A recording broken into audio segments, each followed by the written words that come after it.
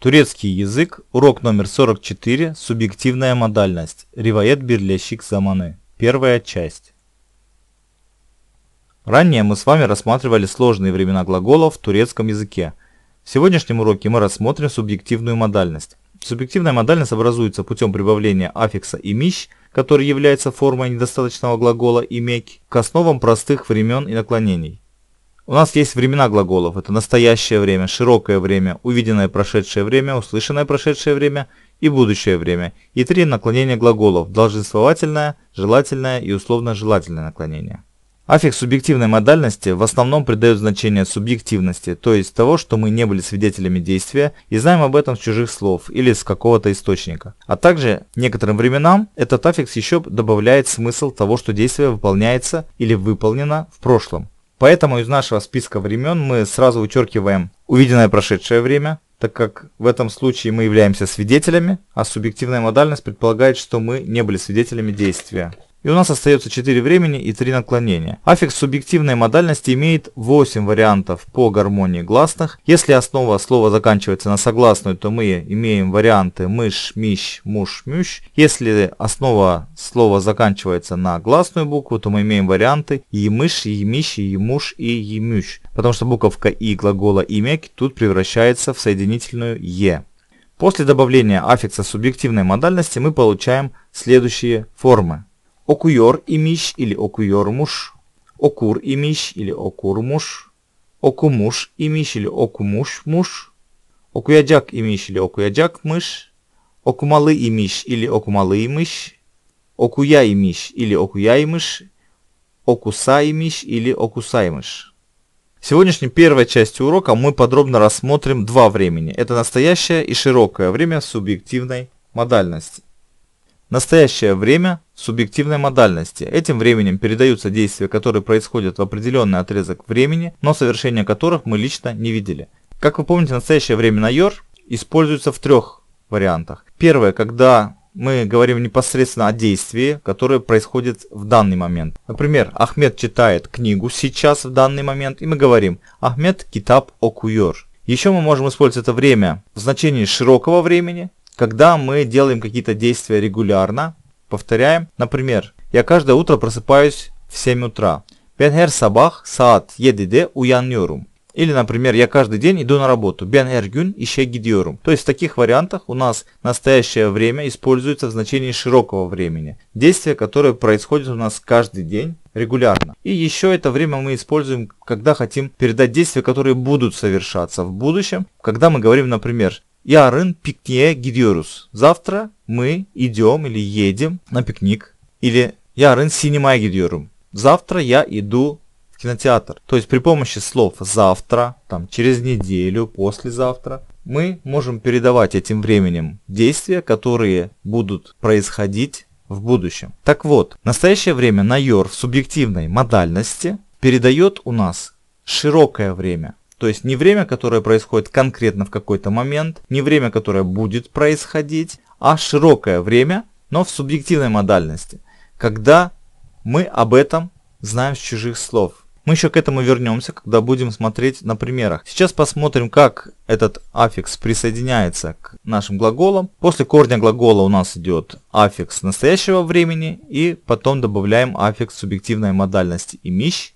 так как аффикс your у нас заканчивается на согласную, то получаем мы варианты мыш, мищ, муш, мющ. И просклоняем по лицам и по числам. Получаем, у нас есть глагол баармак, кричать. Баарьор мушум, я кричу. Так как это в субъективной модальности, то на русский язык можно переводить при помощи слов оказывается или говорят. Да, вот, то есть оказывается я кричу. Точно так же дальше. Bağırıyor мушсун, оказывается ты кричишь. Bağırıyormuş, Bağırıyormuşuz, bağırıyormuşsunuz, bağırıyorlarmış. Здесь, как всегда, у нас аффикс множественного числа ставится не в конце, а между аффиксом настоящего времени и аффиксом субъективной модальности. Дальше посмотрим в отрицательной форме. Мы добавляем отрицательную частицу перед аффиксом настоящего времени, и у нас получается bağırmıyormuşum, bağırmıyormuşsun, bağırmıyormuş, bağırmıyormuşuz, bağırmıyormuşsunuz, bağırmıyorlarmış. Также у нас есть вопросительные формы.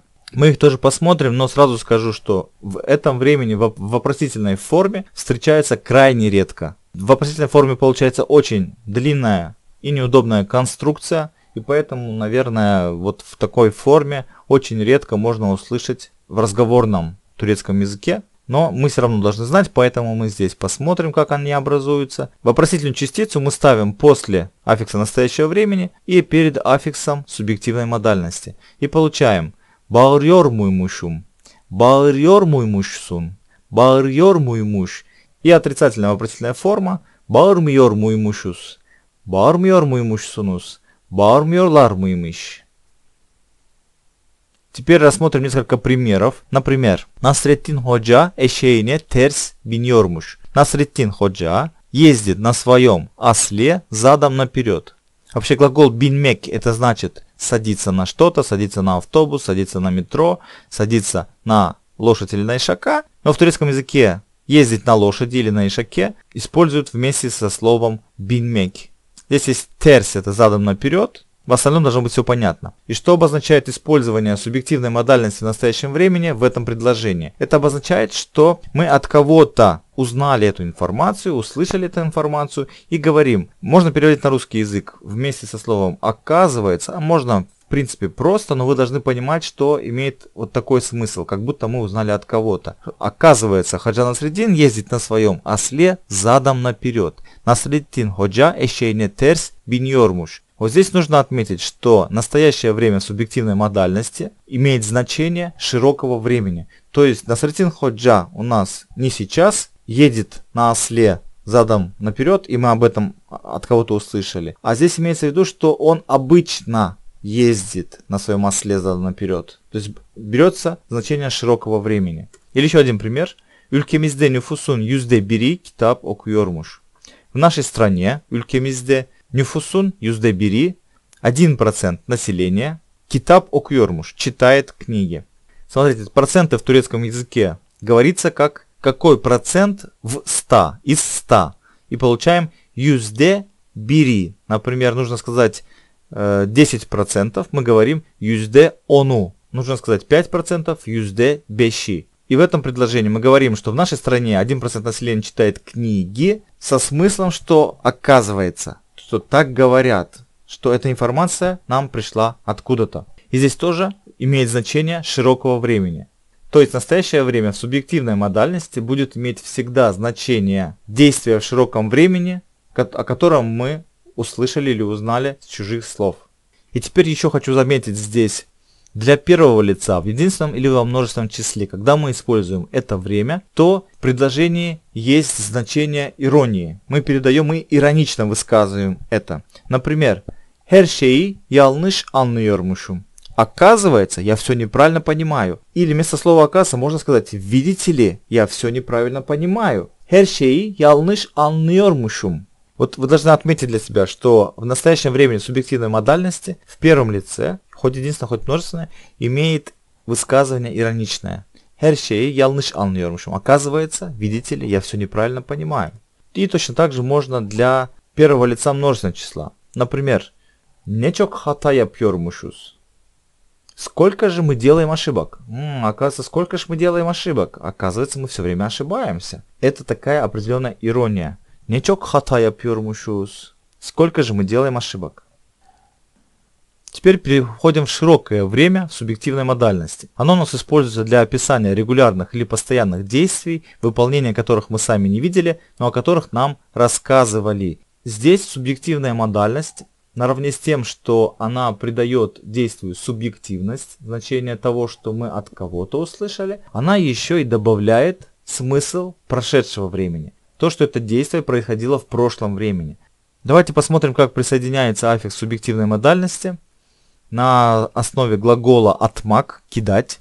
Мы добавляем аффикс субъективной модальности после аффикса широкого времени. Так как аффикс широкого времени у нас заканчивается на согласную, значит здесь тоже аффикс субъективной модальности у нас будет в вариантах мыш-мищ, муж и мыш. Получаем атармышим, атармышсын, атармыш, атармышис, атармышсыныс, атарлармыш. В отрицательной форме у нас получается отмазмышим, потому что аффикс в отрицательной форме в широком времени у нас мазмез, Atmazmışsın, atmazmış, atмазmışız, atмазmışсınız, atмазларmış.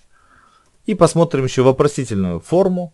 Вопросительная форма широкого времени в субъективной модальности тоже редко используется, но не так редко, как вопросительная форма настоящего времени субъективной модальности. Посмотрим, как она образовывается. Мы ставим вопросительную частицу также после аффикса широкого времени и перед аффиксом субъективной модальности и получаем атар мы мыщим, атар мы мыщ сын, атар мы мыщ.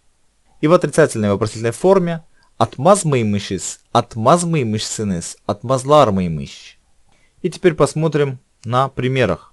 Gençliğinde çok iyi yüzermişsin. Говорят, ты очень хорошо плавал в молодости. Вот смотрите, при использовании широкого времени субъективной модальности в этих предложениях мы зачастую используем слова, которые отводят нас в прошлое. Эти слова могут быть в молодости, в юности, раньше. И глагол в форме широкого времени субъективной модальности описывает действия, которые могли постоянно или регулярно повторяться, но это все происходило в прошлом, в отрезке от прошлого до настоящего. То есть дальше мы не знаем, происходит это действие или не происходит.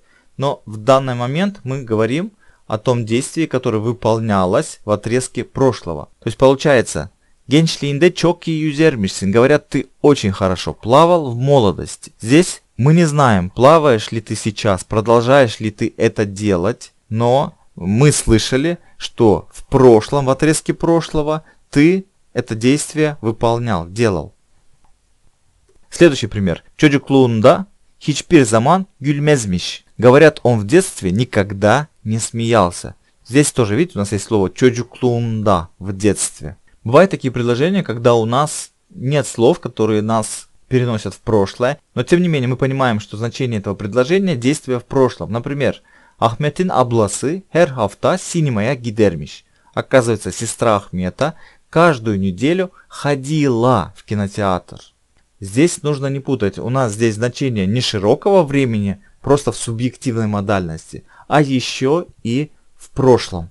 Когда мы говорим предложение Ахметин Абласы Херафта Синема Гидермиш, это не значит, что сестра Ахмета каждую неделю ходит в кинотеатр, и мы знаем об этом с чьих-то слов. Здесь именно действие в прошлом. Ходила. Оказывается, сестра Ахмета каждую неделю ходила в кинотеатр.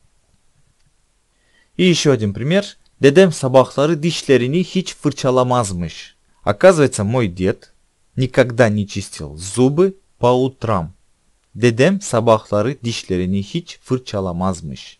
Здесь тоже у нас есть широкое время, то есть значение действия, оно регулярное, потому что не чистил зубы по утрам, то есть каждое утро он этого не делал. Но мы говорим сейчас в значении прошлого.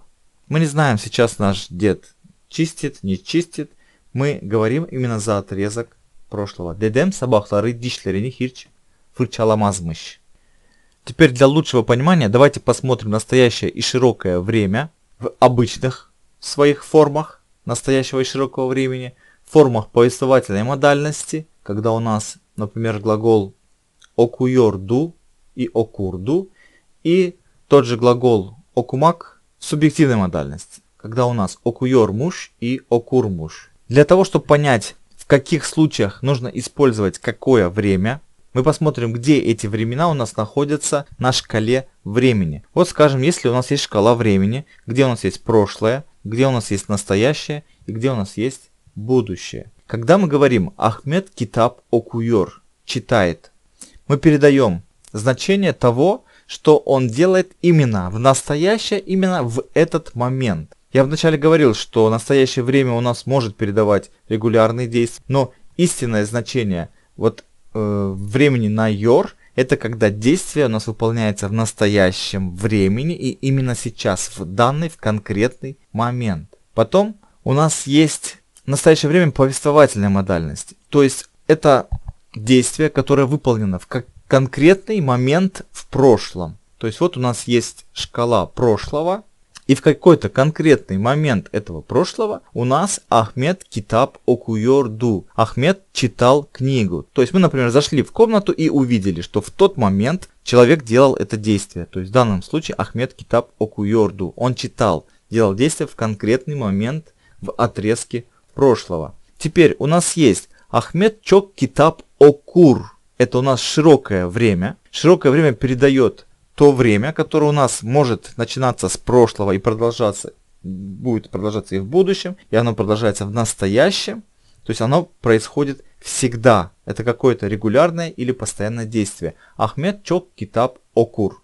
Ахмед читает много книг. Ахмед много читает, да, грубо говоря, так скажем. И если мы хотим то же самое, но сказать в субъективной модальности, что мы знаем об этом с чьих-то слов, тогда мы используем настоящее время субъективной модальности. Вот здесь, заметьте, не широкое время в субъективной модальности, а настоящее время в субъективной модальности. Ахмед чок китаб окуйормуш. Оказывается, то есть мы с чьих-то других слов узнали, что Ахмед постоянно, все время, много читает. И теперь у нас есть Ахмед чок китаб окурду. Это широкое время в повествовательной модальности. Это действие, которое выполнял здесь Ахмед, то есть он много читал. Он делал это регулярно в отрезке прошлого, с, с прошлого и до настоящего момента, но не в настоящий момент. То есть в прошлом это все было. Ахмед много читал. И мы были этому свидетелями, то есть мы об этом знаем. И если мы не были свидетелями, но знаем это с чужих слов, то тогда Ахмед чок китаб окурмуш. Ахмед много читал.